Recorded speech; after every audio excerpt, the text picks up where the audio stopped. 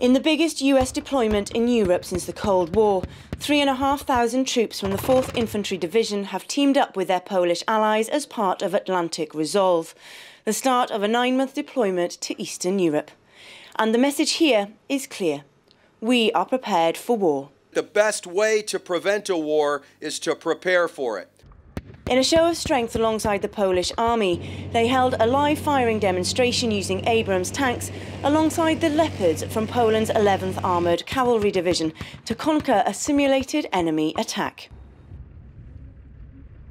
Engaging targets at distances in excess of over two miles or 4,000 meters while moving at speeds in excess of 30 miles per hour or almost 50 kilometers per hour, all with a single purpose to express the will of the alliance on anyone who dares harm to our shared interest and way of life.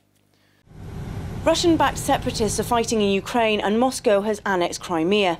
All of this has unsettled Poland and other NATO countries that border Russia, which is why the Polish president has come to Zagan to officially welcome the US forces. The mission has President Duda's full support. Jako przedstawiciele as the Polish people, as heirs of the great Polish military tradition, we want to extend a very warm welcome to our U.S. allies, to the allies of the United States Army.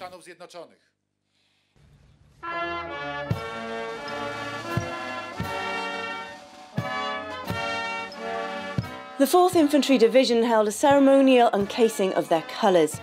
They had been carefully packed at the Iron Brigade's home station, Fort Carson in Colorado, and they are uncased here to act as a visual representation of their commitment to their allies and their shared responsibility of strength and peace.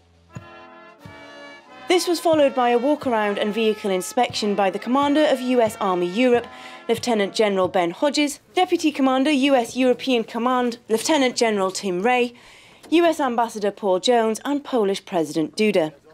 His unwavering support to Atlantic Resolve, a mission designed to demonstrate to Moscow Washington's commitment to Europe, is apparent. And this is just the start of a persistent presence and nine month back to back rotation for US soldiers. So they'll do the same thing that we're doing here with the Polish. Uh, they'll start their interoperability training with the Latvians, the Lithuanians, uh, the Romanians, uh, and then build uh, build training uh, exercises uh, in, in support of Combined Resolve 8, which will be in Germany in the spring. We also have the major NATO exercise, Sabre Guardian, which is in Hungary and Romania. That's in early summer. And then we come back to Germany for Combined Resolve 9 towards the end of the year. The overwhelming message here in Zagan is that they are prepared and they are ready. Przygotowany. If anyone wants to be prepared for war, he needs to prepare himself. Si vis pacem para bellum. If you want peace, prepare for war. Aimee Dewitt, Forces News, in Poland.